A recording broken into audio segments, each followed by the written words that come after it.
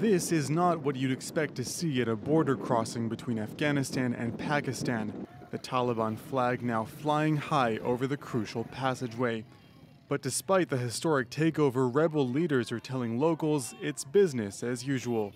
ما د تجاران څخه دا غوښتنه ده چې تجاران دې خپل کار ته ادامه ورکړي خپل کار دې منظم روان کړي او پاتې سو موږ دلته د تجاران دپاره د حفاظت لپاره د تجاران د مالونو حفاظت لپاره خلک مقرر دي ټول هر یو په خپل کار ته مقرر کړی دی هر یو یې هلته خپل کار ته درولي دي This is a huge win for the Taliban. Controlling border crossings means earning money from any trading and taxes, money that won't go to Kabul.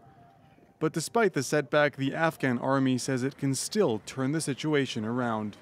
همچنان پلانهای عملیاتی و تصفیهی به شکل دقیق و همه جانبه جهت واپسگیری دستاوردهای بزرگ در سطح تکتیکی اپراتیفی خواهد بدیم.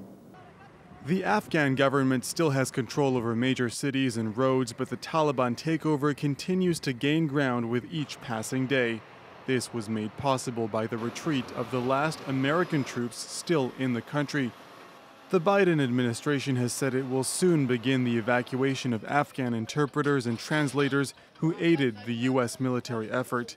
And in the face of more violence, France has called on all its nationals to leave the country by Saturday.